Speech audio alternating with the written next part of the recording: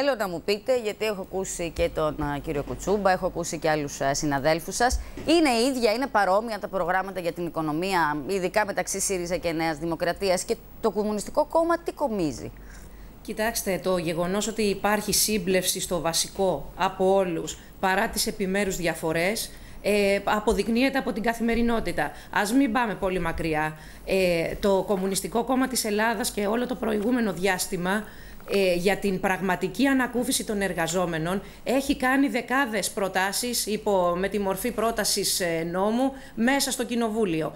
Κανένας, μα κανένας δεν ε, ψήφισε για αυτές τις προτάσεις. Αυτό και μόνο αναδεικνύει τη σύμπλευση που έχουν στα βασικά. Και τα βασικά ποια είναι; Ότι εδώ θα ενισχύεται η οικονομία της αγοράς, των μεγάλων επιχειρήσεων, των μεγάλων μονοπωλιακών ομίλων. Αυτό που κρύβεται πίσω από τις επενδύσεις και το κυνήγι των επενδύσεων είναι ότι οι επενδύσεις για να έρθουν χρειάζονται τη βάση την εργασιακή που ήδη έχει διαμορφωθεί και έχει συμφωνηθεί από όλους και στο επίπεδο της Ευρωπαϊκής Ένωσης που λέει για συμπίεση των εργασιακών δικαιωμάτων και του μέσου μισθού λέει ότι ενώ πριν 10 χρόνια ο βασικός μισθός ήταν 751 ευρώ, τώρα είναι 650 και βλέπουμε, λέει ότι οι εργασιακές σχέσεις θα γίνονται όλο και πιο ελαστικές.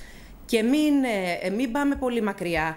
Σήμερα οι συνάδελφοί μας στον κλάδο του φαρμάκου, οι εργάτες των φαρμακαποθηκών, με, με, αυτό, με αυτό θα κλείσω εδώ, οι εργάτες των φαρμακαποθηκών έδωσαν τη μάχη τους σήμερα απέναντι και στους νόμους και στους εργοδότες για να διατηρήσουν το δικαίωμα στο σταθερό χρόνο εργασίας και να μην δουλεύουν όλα τα Σάββατα.